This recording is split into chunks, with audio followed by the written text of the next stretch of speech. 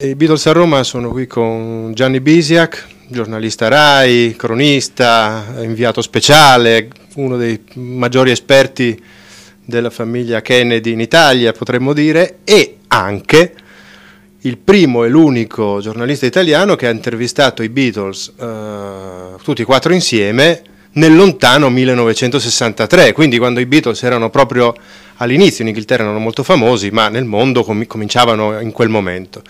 È stata una, una grande intuizione riuscire a intervistarli o un, o un colpo di fortuna? No, un mio collega della BBC, Paul Roland, al quale io avevo fornito le entrature in Vaticano per fare Papa Giovanni, voleva restituirmi il favore e ha detto ci sono quattro ragazzi che cantano così. Io in Italia conoscevo Celentano e Mina, che erano due persone, personalità straordinarie, e ho detto ma guarda che io non mi occupo di cantanti, mi occupo di, di grossi fatti politici, di guerra, eccetera. E lui dice ma questi vedrai che... E, e, e mi portò in questo teatro, mi ripresentò. Loro così eh, nel camerino, in teatro, non davano erano piuttosto in, timidi, cioè molto, molto per bene, così. Non mi davano l'idea di essere un mito. Invece io ho capito chi erano quando siamo andati in mezzo al pubblico, perché il pubblico era letteralmente in delirio. Quando loro cantavano in teatro non si sentiva niente, noi si, si vedevano loro con le chitarre che facevano così e si sentiva l'urlo della folla. E quando finiva la trasmissione, quando finiva lo spettacolo, per evitare che i ragazzi salissero sul palcoscenico e eh, si avvinghiassero ai, ai Beatles, loro suonavano l'inno nazionale inglese, God Save the Queen, perché lì ancora funziona, quindi, e poi abbassavano la cortina di ferro, perché su, il palcoscenico nei teatri ha la cortina di ferro contro l'incendio. E quindi loro abbassavano la cortina di ferro, suonavano l'inno nazionale per bloccare eh, l'aggressione. Però eh, questa intervista che io ho fatto poi eh, nel, nel sotterraneo di questo teatro, doveva essere fatta fuori, perché fuori c'era una tempesta una pioggia torrenziale e i Beatles loro stessi, che volevano sempre scherzare, in particolare John Lennon e Paul McCartney, hanno detto facciamo l'intervista sotto la pioggia. Allora siamo usciti e c'era un cancello dietro il quale c'era una folla di ragazzi che urlavano, eccetera, e questa pioggia così, e loro volevano fare l'intervista sotto la pioggia, se non che il mio operatore che era abbastanza pignolo, ha cominciato a pulire, ad asciugare la macchina da presa, gli obiettivi, eccetera. E, e alla fine, dopo dieci minuti, i, i poveri Beatles erano totalmente eh, in, inzuppati e quindi eh, hanno detto, beh, sono, siamo andati dentro, si sono cambiati, abbiamo fatto un'intervista all'interno. Che, visto ecco. che eh, questo fenomeno stava nascendo, tu avevi la percezione del fatto che questa cosa sarebbe stata una trasformazione, potremmo dire, epocale attraverso i Beatles della società oppure sembrava una cosa che è destinata a finire? No, io ho avuto una sensazione, però eh, non della dimensione che poi la cosa avrebbe avuto, perché Bisogna tener conto che negli anni 50 i giovani in Italia, in Europa, nel mondo, vivevano nelle famiglie, dipendevano dai genitori, erano molto, vestiti molto così, andavano a scuola, eccetera. E, eh, cioè non avevano l'indipendenza. Invece eh, nei primi anni 60, tra il 62 e il 64, 65, i giovani con il boom economico hanno cominciato a lavorare e quindi teenager da 13, da 13 fino a 19, 19 e eh, lavorando sono usciti dalle loro famiglie, si sono messi a vivere in maniera indipendente, anche in coppie, ragazzo e ragazza, eccetera, e quindi è cambiata la loro vita. E quest, per loro il simbolo di questa libertà che, che era venuta prima in Inghilterra, poi in Europa, poi in Italia, poi nel mondo, erano per l'appunto i Beatles. Questo, questo, fenomeno, che era un fenomeno che in Inghilterra si è presentato con maggiore eh, energia, diciamo, piuttosto che in altri, che in altri paesi, insomma, poi a, a contagio, no? si è sparso anche in, in sì. Europa, negli Stati Uniti, eccetera, ma in Italia il fenomeno dei Beatles in quel momento era molto lontano, lo conoscevano in pochi e anche Io dopo... Eh. In Italia i Beatles perché nessuno li conosceva. Ho fatto questo servizio di TV7 che durava circa 19 minuti e l'ho intitolato I favolosi Beatles, perché questi ragazzi dicevano fabulous, fabulous, they are fabulous, sono favolosi. E quindi questa parola favoloso da, dal 1960, prima in Italia la parola favoloso non si usava, e da allora si dice favoloso per dire una cosa. E questi favolosi Beatles eh, eh, hanno praticamente sfondato eh, lo schermo della televisione italiana nel Natale del 1963. Quindi tutti i giovani hanno cominciato a comprare i dischi a milioni e quando un anno e mezzo dopo i Beatles sono venuti a Roma, a Milano prima, poi a Roma, e, e sono diventati, diciamo così, a portata di mano, e anche in Italia il fenomeno dei Beatles è, è stato un simbolo della nuova libertà eh, di questi ragazzi che potevano uscire la sera, la, per esempio qui c'era, eh, eh, noi avevamo dei, dei, locali da ballo dove eh, i ragazzi andavano anche la sera, anche la notte, mentre prima i ragazzi e le ragazze molto giovani non potevano uscire la sera. Quindi è stato un simbolo di libertà che poi purtroppo successivamente è uscito anche col, con la droga, ma eh, per esempio poi due anni dopo venne fuori la minigonna, cioè eh, eh, la minigonna eh, fu una delle bandiere di questa nuova libertà. Ma secondo te, siccome sappiamo che i concerti che, che si tennero qui in Italia, la, la, RAI, che era l'unica televisione in quel momento, non coprì assolutamente l'evento, nel senso che non, non, non si ritenne come dire, eh, meritevole di, di copertura all'epoca. Questa sorta di miopia per un fenomeno uh, così, così, rilevante come, come, ormai era sotto gli occhi di tutti, nel 65 ormai era, nel 63 si può capire, ma nel 65 era ormai planetaria la cosa, no? Come la spieghi? Ma diciamo che il fenomeno si è sviluppato progressivamente, anche in America. Io andavo in America fino al 62-63, in America ci si vestiva di grigio con la camicia bianca, la cravatta blu, le scarpe nere, eccetera. Dopo il 63-64 la gente ha cominciato a mettere la camicia aperta, a fiori, eh, la giacca colorata, insomma cioè, anche i vecchi, gli anziani, hanno cominciato a, a, voler diventare più giovani, a cantare queste canzoni dei Beatles, ad andare a ballare. E in Inghilterra eh, facevano delle sale da ballo eh, per 3-4 mila ragazzi che erano poi in, eh, in un complesso dove i, i, ragazzi che venivano anche della, da fuori Londra potevano cambiarsi, c'era il barbiere, c'era il bagno caldo, c'era l'albergo con le stanze, c'era il ristorante, quindi i giovani che venivano lì, oltre a ballare, trovavano un luogo, c'era lo spettacolo, c'era il cinema.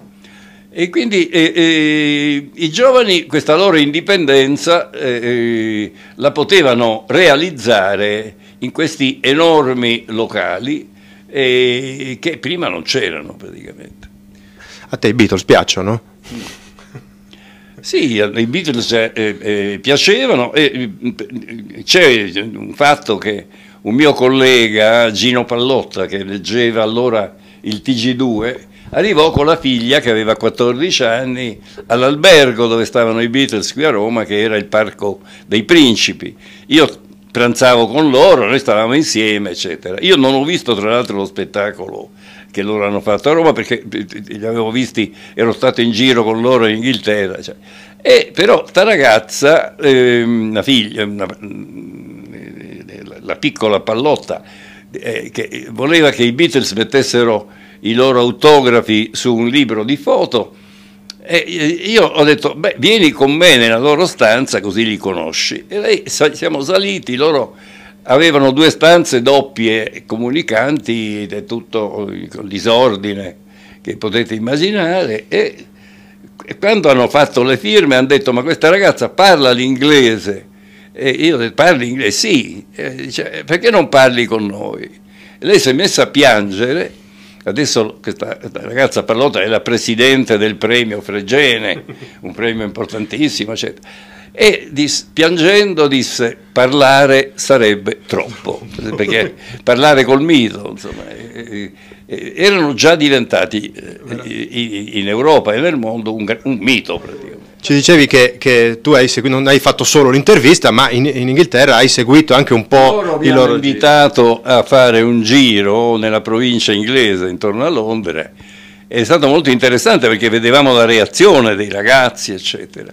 E quando la sera andavamo a cena in questi piccoli ristoranti, così, loro per non farsi riconoscere con la brillantina, tiravano i capelli all'indietro, si mettevano una regolare cravatta e, e, nessuno li riconosceva. E poi loro, siccome scherzavano sempre, eh, John e Paul parlavano male dei Beatles, dicevano questi Beatles sono dei cretini, cosa credono? E, e tutti i, i ragazzi nei locali protestavano di fronte a questa cosa qua. E ricordo che un giorno eh, andavamo, in, eh, loro avevano la loro macchina, io avevo la mia con la RAI, eccetera, e eh, pioveva sempre in quel periodo e c'era un, un campo, un prato grandissimo e c'era come un cadavere, un corpo.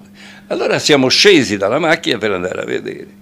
E lì, in questo campo, c'era una ragazza eh, in, mezzo all'erba, così, che piangeva e, e, e, diceva Paul, Paul, chiamava Paul McCartney perché non era riuscita ad andare allo spettacolo e quindi era lì che come si volesse lasciarsi morire Sperata. praticamente. E noi l'abbiamo poi portata con noi, l'abbiamo presentata a questi ragazzi, ma per esempio i ragazzi della mia troupe, eh, con i dischi che, che, i Beatles ci davano, i mono allora, e avevano de, molto successo con, con, le fanciulle anche a Londra perché eh, appunto eh, avevano i dischi con sopra eh, le firme eccetera.